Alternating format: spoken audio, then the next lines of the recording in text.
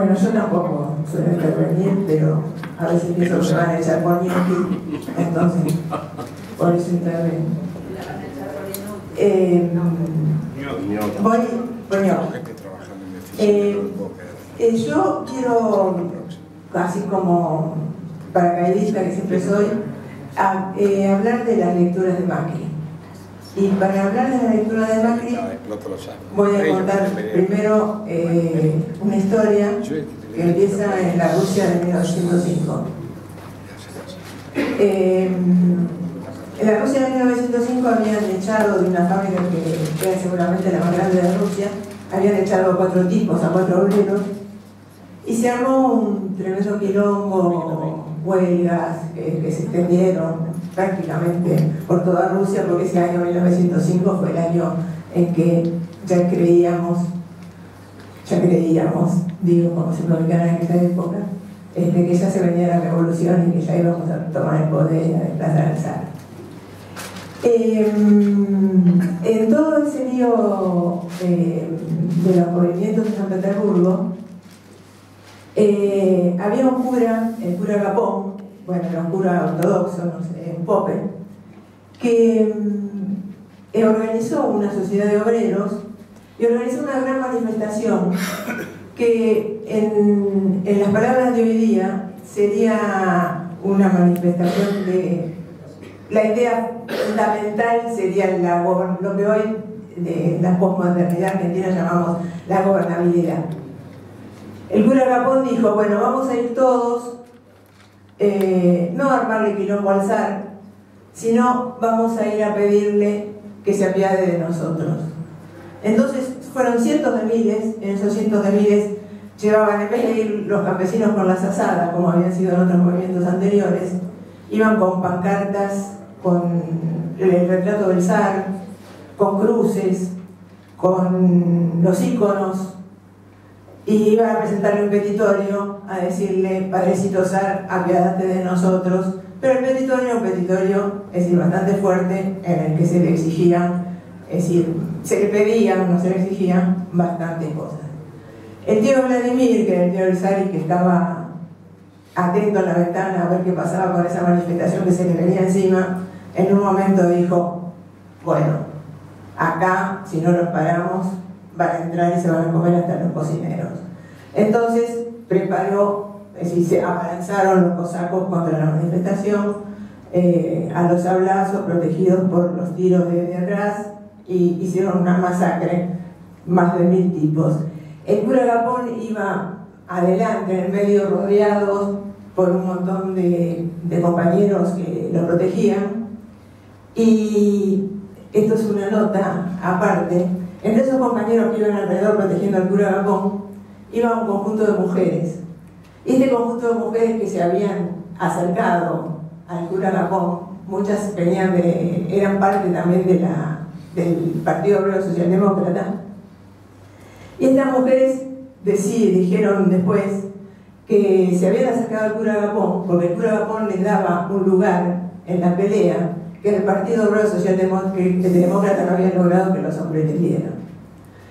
Eh, bueno, en, este, en, esta sociedad convulsionada de Rusia, eh, nació justo al mes siguiente, digamos, esto fue el 9 de enero en el calendario que tenían los rusos en ese momento, el calendario juliano, este, se recuerda como el Domingo Sangriento, y en ese, al mes siguiente, en esa sociedad convulsionada, nació una señora bueno, una señora fue después cuando nació un bebé. Eh, una, una, familia de San Petersburgo, una familia judía, eh, atea, no militante. Eh, y este, en, ese, digamos, en ese San Petersburgo, después llegó la revolución, le confiscaron a su, a su padre la, la farmacia que tenía. Y, digamos, ella creció en ese, en, ese momento, después entró a la Universidad de San Petersburgo, estudió filosofía, y em, su, única, su único gran deseo era irse a vivir a los Estados Unidos, que para ella era allá en los años 20, cuando él estudiaba en la Facultad de Filosofía de San Petersburgo, eh, Estados Unidos era para ella como el fondo, el, verdadero lugar de la libertad, donde era la única manera en que el hombre podía realizarse libremente y bueno, finalmente peleándolo consiguió una visa para irse a visitar a unos parientes a Chicago y eh, por supuesto nunca más volvió a Rusia. Se llamaba Alisa Rosenbaum, Alisa, si no, una Rosenbaum, era un nombre muy judío y muy ruso. Después en Estados Unidos se cambió el nombre a un nombre más, eh, más inglés. Eh, se dedicó a escribir y a filosofar y cuento esto porque en algún momento en una mesa escuché decir a alguien que lo, veían a Macri yendo a la playa, no sé si en las playas de, Uruguay, con eh, el libro que reunía sus ensayos filosóficos bajo el brazo. El libro se llama, traducido al castellano, La virtud del egoísmo. Incluso un amigo que trabaja en una librería me decía que en algún momento Macri nombró a ese libro. Eh, no, eh, no a ese libro, nombró a una de las famosas novelas de esta señora, eh, y que empezaron a desempolvar en la librería este libro porque hubo una locura de compra. El libro se llama La rebelión de Atlas y se refiere, Atlas es el empresario que es como la base de sustento de la sociedad. Y si estos empresarios se rebelan a lo que el Estado les obliga, el mundo se viene abajo. Eso es lo que el, clima de, esta novela. Y eh, eh, lo que quiero decir es que bajo eh, toda la cuestión que nosotros acusamos, toda la cuestión económica, política y de rapiña, que nosotros hablamos de lo que es el movimiento que nos gobierna en este momento, hay toda esta filosofía desarrollada por esta señora que en Estados Unidos se llamó Ayn Rand. Eh, ella dice que el hombre es hombre en base a la racionalidad. Y la razón del hombre debe estar puesta en que cada uno trate de lograr su felicidad. El, el hombre debe ser un héroe de sí mismo y lo, para lo único que debe usar su razón es para ser feliz. Eh, eh, en cuanto a, entonces, en cuanto a eso, ella dice, algunas de las cosas que dice, se las voy a leer de aquí porque no podría recordarlas exactamente. La palabra que no morirá es la palabra sagrada, y la palabra sagrada es yo. Eh, la idea del altruismo es un vicio, ya que condena a todos los hombres a satisfacer las necesidades de los demás, nunca las propias.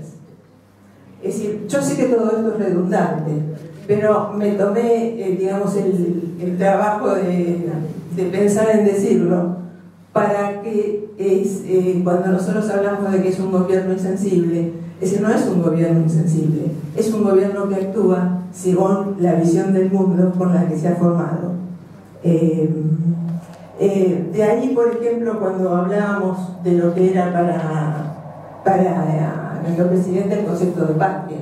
El concepto, eh, la razón y las emociones evidentemente están enfrentadas. Eh, eh, es decir, yo, es decir, a mí los sentidos, según esta filosofía que se llama objetivismo, los sentidos me pueden servir para obtener un conocimiento de la realidad, de la realidad objetiva, y que la razón me sirva para eso. Las emociones lo único que hacen es interferir en esa razón. Es decir, no hay ninguna razón para que eso tenga sentido de patria, porque eso es una emoción que no tiene que ver con razón. ¿Se puede aplicar a Hitler? ¿Dónde se eh, por ejemplo, si, sumamos, si lo sumamos a Hitler con con es decir, hacemos el combo perfecto. El egoísmo, dice ella, es una virtud, eh, ya que no hay ningún motivo racional para poner las necesidades de los demás por delante de las necesidades propias.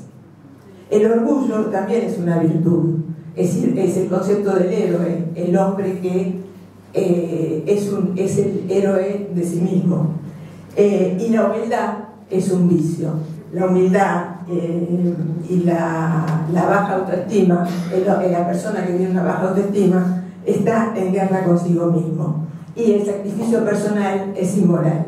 Ella dice, si un hombre está en situación de que su mujer y su hijo estén en peligro de ahogarse en un río, hace muy bien en tirarse al río para salvarlos, porque racionalmente él después no podría vivir feliz si les pasara algo irreparable a su mujer y a su hijo. Pero si un desconocido está en el agua tratando de ahogarse, no tiene ningún sentido que yo me sacrifique por él. Digamos, esto ella lo dice más o menos exactamente así. Porque eso a mí no me produce absolutamente ningún beneficio. Y mi racionalidad tiene que estar puesta justamente en que en lograr mi felicidad. Y ella habla de los derechos positivos y los derechos negativos. Cuando habla de los derechos positivos, dice que lógicamente los derechos positivos son contradictorios. Los derechos positivos son el derecho al trabajo, el derecho a la vivienda, el derecho a la atención sanitaria. Eh, lógicamente contradicción, contradictorios en su sola enunciación. Es una contradicción interna, ya que generan obligaciones que destruirían los derechos negativos. Por, eh, eh, los derechos positivos hacen que yo me convierta en un esclavo del prójimo. Si, si el prójimo tiene derecho a tener vivienda, a tener, y el, prójimo es un vago, entonces me está esclavizando a mí, que soy una persona meritoria, que he hecho todo lo posible por ganarme la felicidad y tengo resulta que entregar lo que he hecho, he logrado en pos del otro. No, sería totalmente ridículo que yo me, me, sacrificara en nombre del otro. Los derechos negativos, que sí son los derechos que corresponden al hombre, son el derecho a la vida, el derecho a la propiedad privada, que es una extensión del derecho a la vida, y la búsqueda de la felicidad el, gobierno, la única función que tiene el gobierno, no sé si eh, lo tengo aquí tal cual como para leerlo, para que sea exacto, bueno, no lo encuentro. Es decir, el gobierno la única función que tiene es de protegerme a mí de la violencia física externa. Es decir, si alguien agrede una invasión extranjera o un criminal, como todos esos que salen a la calle a pedir por los derechos negativos, es decir, a pedir por por su derecho a la vida y a la vivienda. Todos esos son criminales que el gobierno tiene que estar preparado para defenderme eh, de esos criminales. Y esa es la única función del gobierno. Y por último, ese quiero leer este pedazo, donde ella dice, la nueva teoría de la justicia exige que los hombres contrarresten la injusticia de la naturaleza mediante la institucionalización de la más obscena, impensable injusticia, de privar a aquellos favorecidos por la, por la naturaleza, es decir, todos aquellos que tienen talento, que son inteligentes, que son, que son creativos, a esos con su eh, eh, digamos, esfuerzo personal y sus dotes naturales tienen el derecho al fruto de su trabajo, esto es el derecho a la vida, y conceder, sería lo injusto, a los incompetentes en la ciudad, ya terminó y conceder a los incompetentes, a los estúpidos, a los vagos, el derecho de disfrute de bienes que no podrían producir, no podrían imaginar y ni siquiera sabrían qué hacer con ellos. Es decir, entre esto y el concepto eh, que yo digo que Cristina sacó de, de Levinas, de la patria hacia el otro, evidentemente no hay una zanja, no hay una brecha, hay un precipicio. Esto es lo que quería poner en palabras. Muchas gracias.